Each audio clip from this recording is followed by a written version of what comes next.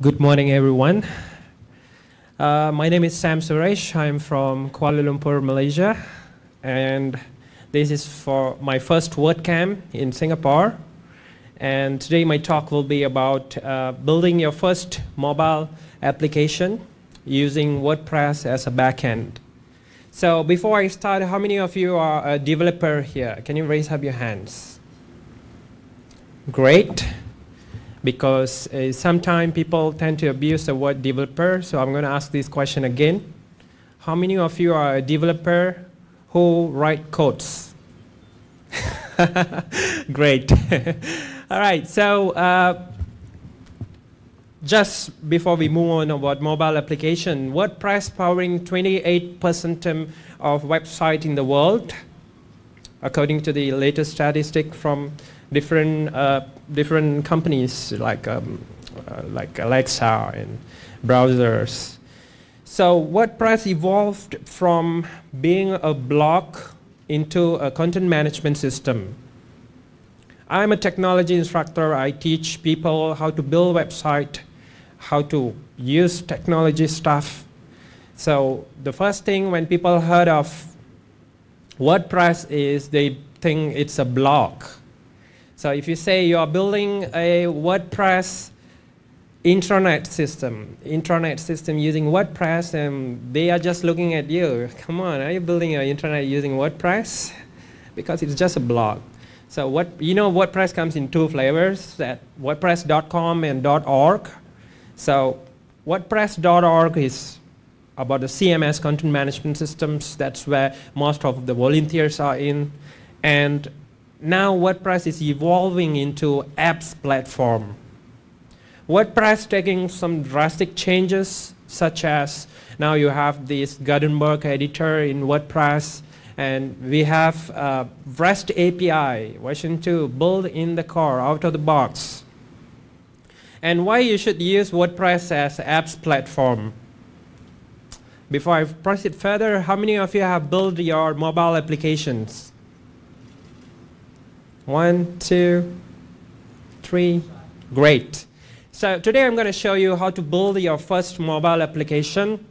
Even though you are not a programmer, a coder, anyone can build a mobile application. Why WordPress has backend for mobile application? Because WordPress is really a powerful and most popular content management systems. 28 percentage, that means you can get support, you can get documentation tutorials, in a single Google or just read the documentations. WordPress has built-in REST API, more than 52,000 plugins available in WordPress plugin repository.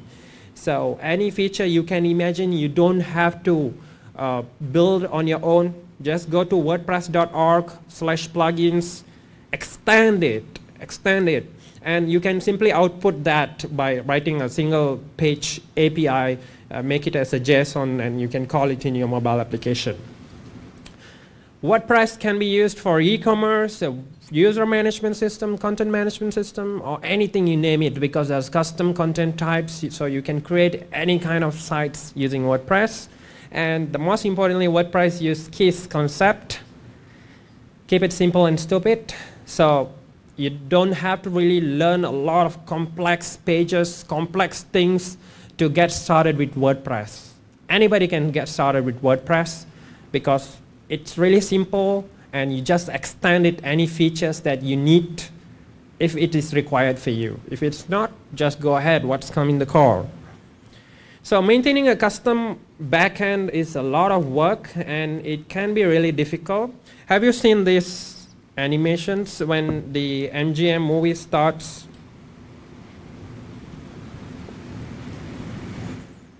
I believe all of you have seen this, right? So those days, if you have the old movies, and this is the animation that will be played before the movie. And have you imagined what is in the back end? so it's not really easy to maintain a back end. It can get this complicated. Um, it's just because uh, if it's a simple backend, that's fine. Imagine you have, you need to maintain a user directory with a lot of users, and uh, if you are building a, your own backend, that sometimes can be very clean and very efficient. But if you want to add on a feature or you want to maintain it, so that takes a lot of efforts. So you can use WordPress as a backend. Uh, today I'm going to show you how to pull contents using REST API and display on your mobile app and package it for iOS and Android and submit to Play Store or App Store. Building your mo own mobile application, there's various technology available to build your own mobile application. You can go for native application or hybrid applications. If you want to build a native application for Android, you need to learn Java, or you can include C++ that you learned during your college times into the Java and compile it as an app. Or if you want to build an app for iPhone, you need to learn Swift or Objective-C.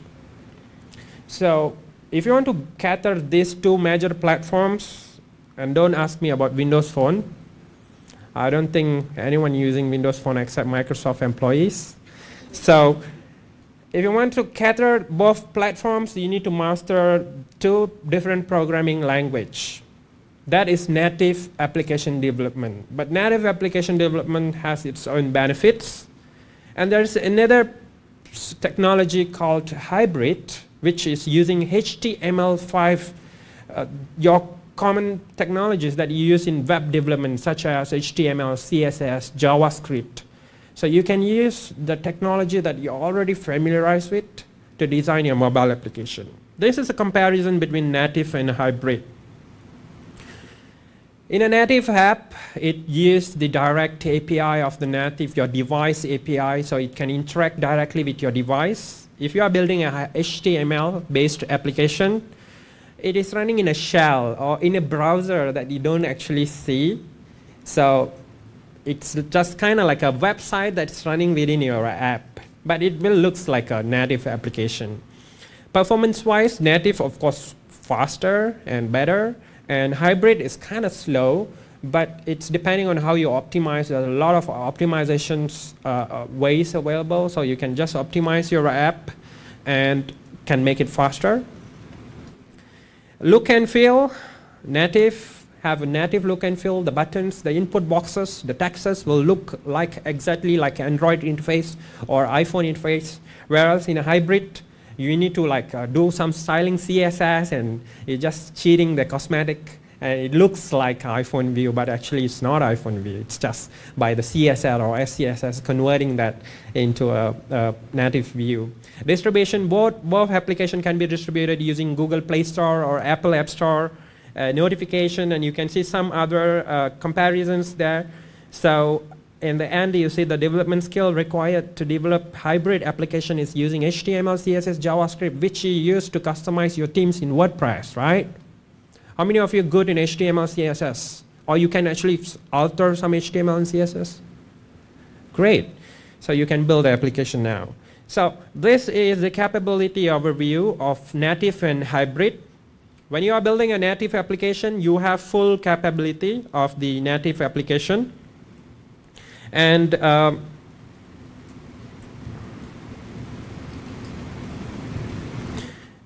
And when you are building a hybrid application, you still have the full capability, but you can export to multiple platforms, whereas native, you can only export to one single platform.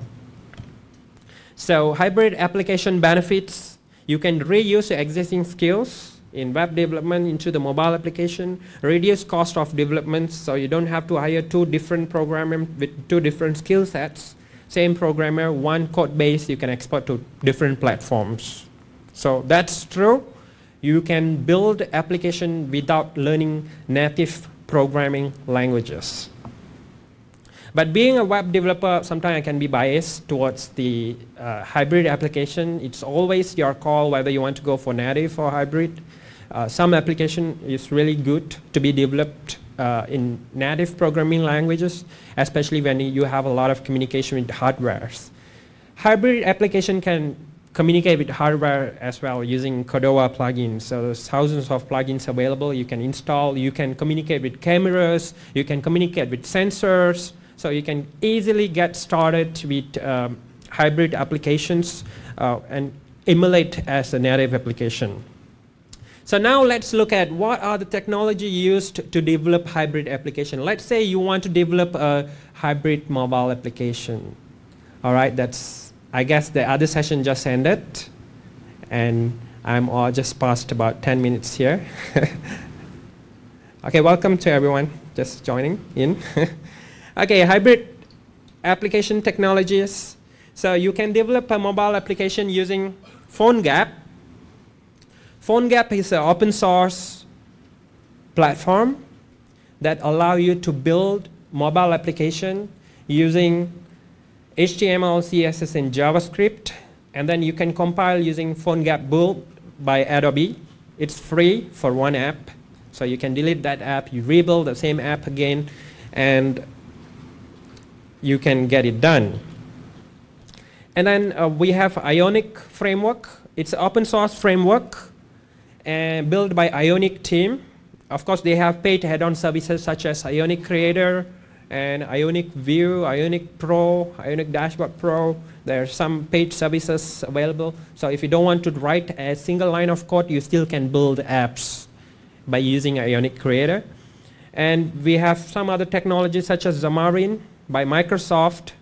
I don't use any product made by Microsoft usually except Excel because that's one of the amazing innovation by Excel, by Microsoft. So you can use Xamarin as well. It's, they have interface similar to Android Studio, and you can build a, a, a hybrid application. But uh, when it's built by a corporate company, the, the, the open source community became uh, limited, so not much growth you can see in the future. And Framework 7 is open source framework, uh, not really popular compared to PhoneGap and Ionic. Intel SDK, one of my favorite tool. Please check it out. You can download from Intel website. It's a free tool. You can drag and drop, build your mobile application using Bootstrap. Unfortunately, this is not open source, freeware, and Intel dropped support for Intel SDK since the beginning of 2017. Uh, so it's really sad. Uh, they're going to sunset this software in coming years, maybe two or three years later. So today I'm going to show you using Ionic framework. Why? Because it's most popular framework among all the technologies that we have to build a hybrid mobile application. PhoneGap is another technology that's actually uh, as popular as Ionic, but why Ionic? Here it is. Ionic uses a front-end UI that the look and feel looks like a native application. So when you build using Ionic framework, your application will look like a native application. And Ionic comes with tons of interfaces. These are the interfaces in Ionic. You can see these are the startup screen for your app, buttons, everything you can imagine, just like Bootstrap. I'm sure many of you know what Bootstrap is, right? So Bootstrap is just a framework. You get it from Bootstrap, getbootstrap.com. You build your website. So you don't have to write CSS, JavaScript to create buttons, boxes, and whatever UI elements already built in, and people maintain it. People troubleshoot the grid system, everything in there. So Ionic is the same thing, but for your mobile application. It's just like Bootstrap, but for your mobile application. Everything is already built in, the components, the, the stylings, everything. You copy the code and place it in, and you get started. So that's why Ionic is getting more popular, and Ionic team believes that HTML5 going to rule the mobile application in the future because everyone can use it. Why most of us use WordPress today? Because WordPress is, again, like I said, is case is keep it simple, so you can anybody can get started with a little basic knowledge on how to control your mouse and how to click things in your browser. So Ionic uh, also support a broad range of native mobile components like slick animations and also you can in, in install whatever Cordova plugins available as Ionic also using Cordova engine just like PhoneGap. So when you're comparing PhoneGap and Ionic, if you're using Ionic, you get Cordova, you get Cordova plugin, plus you get all the user interfaces, the amazing user interfaces in just one line of code. So building a, a hybrid application with Ionic, you need two skill set. The first one is basic HTML, CSS, and JavaScript. Ionic using Angular JavaScript type as well as TypeScript. So that is uh, new. Uh, maybe if you are not familiar with this, you need to learn Angular a little bit uh, so you can customize uh, or you can just read the documentation in Ionic. There's documentation for everything. How to add a page, how to add a menu, how to add a splash screen, how to add a plugin. Everything is documented. There's examples available. You need to have some basic knowledge of command line tools. So how to open command line and how to run command line and how not to kill your Macintosh or computer using command line. Uh, like remove recursively so that can remove your entire hard disk maybe, the data in your disk. So be careful of that. But if you have no idea about command line tool, no problem. There's uh, one other technology called Ionic Creator. Drag and drop on in interface on the web base. You can, it's a cloud technology, you can use it. This is Ionic Creator. But it's limited for one application. You can build one application in Ionic Creator. I'm just having a demonstration video recorded last night in my hotel room. So this is Ionic Creator. You just start an account, go to creator.ionic.io, start an account, create a new app, and you can see when you started your app, your app is already there with three different tabs. So you can just customize the tab colors and the tab names. You can add more pages you can add icons. You can add all the elements. You can see the elements on the left bottom. So there's a lot of different elements. Um,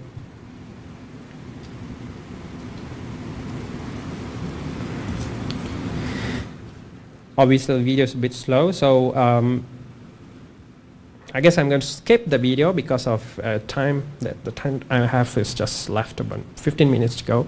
So I'll share these slides later. You can play back this video, the full video, how to create and how to export it. Once you export from here, you get a source code which you still need to build because designing a mobile application is two phases. The first phase is designing your application. Second phase is building, compile it in, into installable package which is like APK or IPA. APK is for Android, IPA is for iPhone. So that's like uh, images and everything I'm just doing drag and drop without writing a single line of code. Okay, so now let me show you how to install Ionic on your computer and get started and pull content from WordPress and display it. So every time you update a post on WordPress, that content will appear on your mobile application in your client. So you don't need to build your mobile application or update your mobile application again, again, and again. So first thing is you need to install Node.js before starting with Ionic. So just Google Node.js, download Node.js, install it, get it done. There's full tutorial in the Node.js website itself. Once you install Node.js, you can run these two commands in your command line tool. So Ionic can be installed on Windows as well as on Macintosh. Most of my commands here are for Mac based. Uh, the commands are slightly different for, for uh, Windows. You can refer these commands, the same command from Ionic documentation. Uh, it's just don't run sudo in Windows. I don't think Windows shells accept sudo.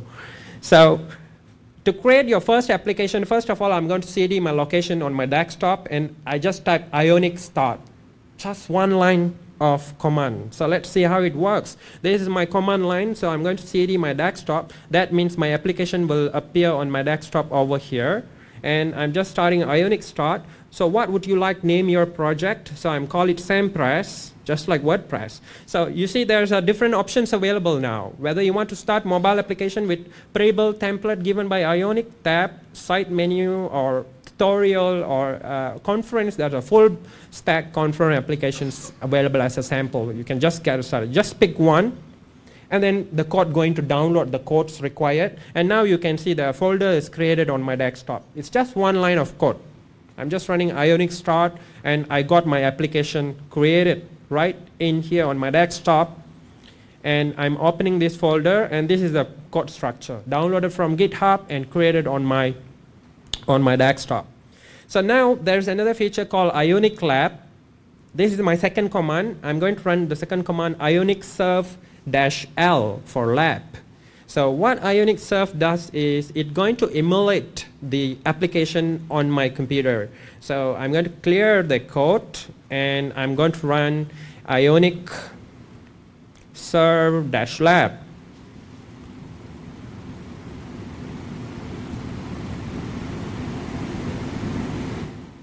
And again, it's going to start a, a, a, lab environment that allow you to preview your app as you build.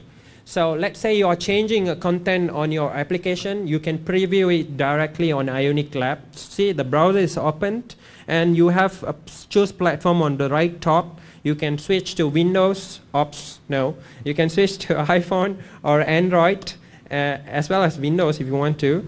And you can build something. So I'm going to open a file which is the pages. You see the pages, just like HTML pages. I'm going to open the home page, home.html, and I'm dragging to my Atom editor there. You can use Atom Sublime or any editor, your preferred uh, text editor, or even Notepad if, you, if you're good at it.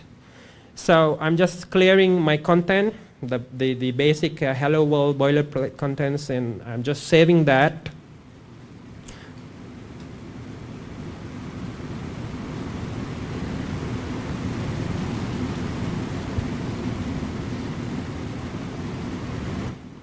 So what happens is when I save this and when I go back, you see it's building automatically and it's showing me the latest, uh, the, the, latest uh, status of my applications. So you don't need to have an iPhone to build an iPhone application anyway.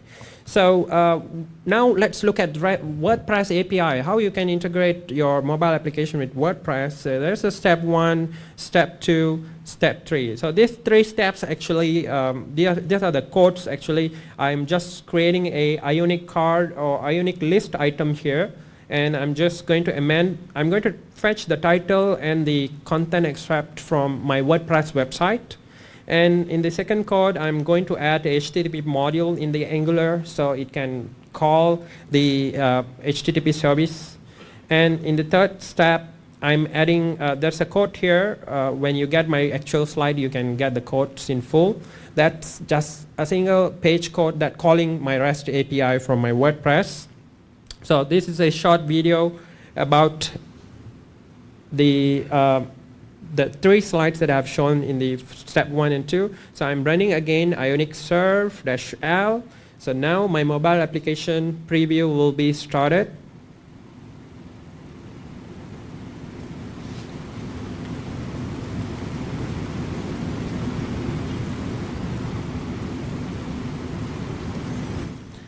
So here it is, my mobile application. And now I can, I can see all my WordPress posts. Once I place the three codes, these are the WordPress posts taken from 2017.kualalumpur.wordcamp.org. So this is uh, WordCamp Malaysia that we are organizing next month, 25th in Kuala Lumpur. It is taking these three posts from WordCamp website and it's displaying on my mobile application. So this is the actual site. You can see this is a WordCamp website uh, in Malaysia. And these are the three posts I have on the home site. And these are the exact three posts. But there's one problem in here that when I click the details of the post, so I'm getting some errors because there is no post detail page. So to add a new page in Ionic, there's again just one single line command and I'm, I'm attaching three different codes to get the details page is loaded. So now I'm showing you my final application, which are plus or minus just seven or eight steps to come out with this application. So this is running Ionic Serve again. So it's going to compile my code and going to preview on the browser.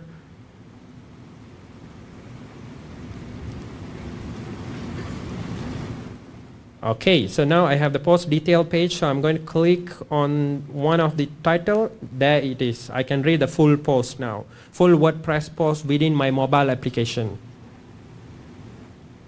So what happened is that once I compiled my application and people install it, the next time I post new mobile, new post on my WordPress website, they can, they will be able to read it. And there's a plugin called One Signal Push Notification. If you install this in your mobile application and in your WordPress, next time you make a new post, your users will get a push notification on their mobile device. That's a new post available. WordCamp Malaysia just made a new post available. So make sure you subscribe to WordCamp Malaysia. And now how to export as an application. Once you finish your design phase with the seven step that I outlined before this. Now, of course, you want to export as an installable mobile application. If you want to install, uh, export it, IPA is for iPhone, APK is for Android. I repeat again for those just coming a bit late or on time. I'm, I'm early actually. So to, to, if you are building on Ionic framework, you can export into Android or uh, Apple devices or even Windows devices. So you just build one application, you export to multiple devices when you compile it. So you don't have to build for Apple, you don't have to build for Android, you don't have to build for Windows unless you have money to do that. So to build is, uh, once you finish your design phase, now you want to compile as an installer, you have two options, whether you go with command line interface or you go with PhoneGap Build. PhoneGap Build is a service by Adobe. You need to pay for it if you want to make a private application, but if you want to make it open application, it's free. Or you can do this. They allow you one free application, so you just upload it, compile it, download your installable application and delete it. Or you can make it open source as well. Upload it, compile it, delete it again. So no one else uh, get your code or if it's a private application, again, uh, looks like PhoneGap love open source. So if you are open source, it's free. So I'm going to show you how to build using PhoneGap because uh, this is the most easiest for most of you because if you're using a CLI, you need to run on Mac in order to compile uh, Apple iPhone application. So you can't compile Apple iPhone application in Windows uh, unless you have a remote Mac that you can connect and compile it, or nowadays they have a lot of uh, hosted services that, uh, but I don't still find a way, even though you are compiling in PhoneGap, to submit to Play Store, you still need to application loaders to submit it. So somewhat Apple forcing you to buy an Apple device. So there is five steps uh, to, to submit to uh, PhoneGap build to compile as a PhoneGap build. The first of all, you need to get Apple account. Uh, sorry, it's an Adobe account. So make sure you just uh, register as Adobe ID, or you probably already have an Adobe ID when you download Photoshop trial and keep on using it as a trial forever. So use that ID to log into phone build.phonegap.com, and this is the interface that you can upload the package that you have built on Ionic framework. I just skipped one other slide before this that shows a slight modification need to make for one file because Ionic is building for Ionic CLI and now you're using for PhoneGap so a little changes need to be made for your config but if you go through my slide it will be useful to understand when you're actually doing it. So now when I'm presenting I'm going to speak, uh, skip some of the technical details so it will be useful when actually, uh, it won't be really useful for those you're not following as a practical now. So it, I just uploaded the package to PhoneGap build and you see it is compiling, uploading. Once I upload it, it shows my application there, Sam Press, that's my application name. I don't, up, I don't have any uh, icon. You can actually generate icons and put it on the config file and then your icon will be there. iOS is red, Android is building now. And once Android is built, yeah, that's blue. I can click on the Android, and there it is. It is downloading my APK already. Use this APK. You need to sign this APK, and then you can submit to Play Store. For iOS, in order to compile iOS, you need uh, Apple certificate and provisioning files, which you will get from uh, Apple, developer.apple.com. Uh, if you actually paid them $100 every year, you will get it. So Apple's developer account costs uh, $99 yearly, uh, whereas Android developer account costs $25 one-off. So it's a lifetime account for Android. And you can just build Android application uh, without even having certificate. You can generate your own certificate. It's just one command to generate your certificate. It's called key stores in Android. So you just generate key store and sign with this command. And once you generate, you can submit to Apple Play Store already. But uh, for iPhone, you need to get the key uh, provisioning file. They don't call it key store. It's a provisioning file and certificate from Apple developer account. And when you submit it, they're going to go through very tedious verification process. Probably uh, you need to spend a lot of time to make sure your app is proper, even the spellings, the contents, everything is proper. They're going to check uh, inch by inch before they publish it on Apple App Store. Uh, whereas in Android, it's more flexible, so you just make sure you follow all the trademark guidelines, security guidelines, then your app is on App Store. So that's how you export your app. And if you are interested to see more examples, uh, I don't want to build from scratch. Can I just start from something that somebody already built? Just like all the WordPress people, we all always does this by downloading a template and install the demo and learn from there. So you can do that as well for Ionic. Uh, we have starters for Ionic. It's called starters. Uh, in WordPress, we call it demo content. You just import demo contents. And I, in Ionic, we call it starters. Just go to Ionic. Dot, uh, ionicframework.io and then click on the marketplace. This is marketplace. I'm not affiliated with this marketplace. I don't get any commission to say this. So it's just a, a hint for you how to get started quickly you can just get any one of these starters and there's a lot of starters packages already available. I mean, application that people already build with WordPress, with other CMS, with uh, many other geolocation sensors, cameras. Just download it and run the Ionic serve -l.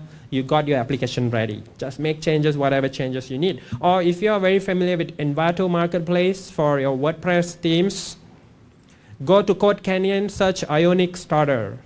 There's a lot of Ionic full-featured apps. You can just rebrand it and upload it. That's cheating anyway.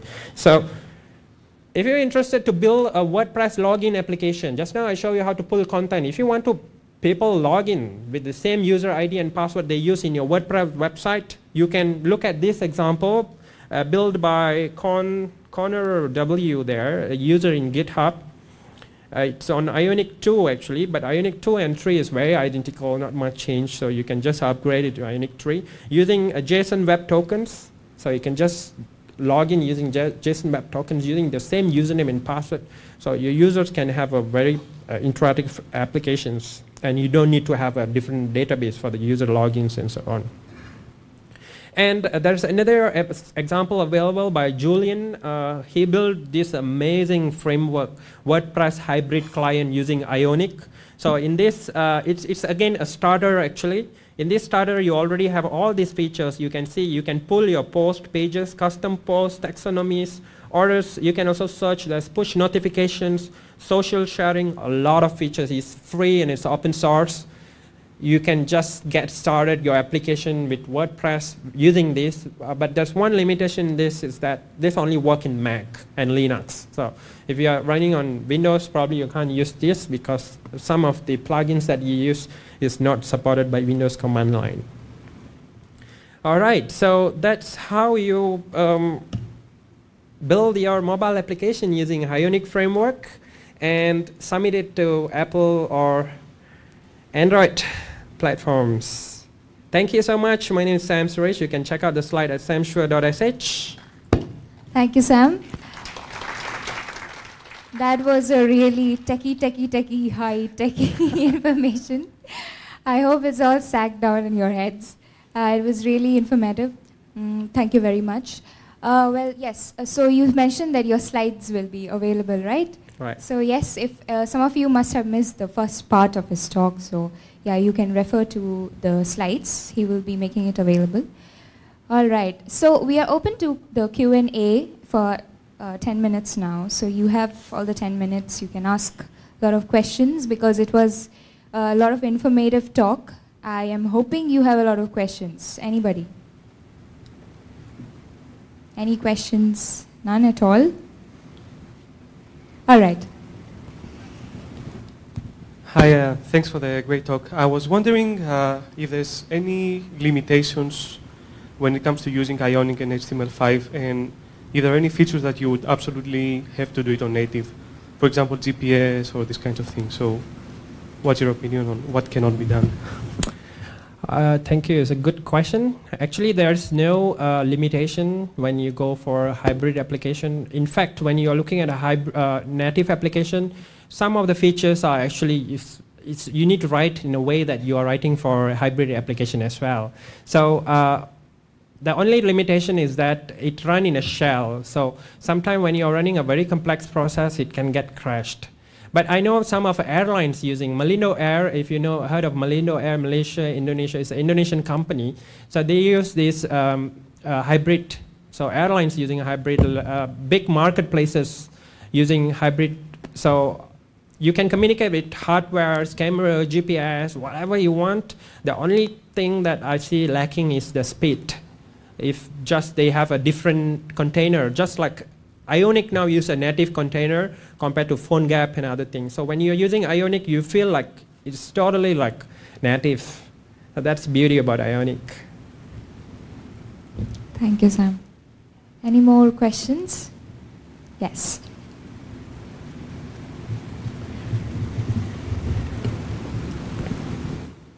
Have you ever tried pulling from different webs, WordPress sites to go to that uh, app, mobile app? Yes, you can do that. So just like uh, I did for home page, I'm pulling from WordCamp Malaysia website and I'm listed it. So these three codes, it's within my home folder.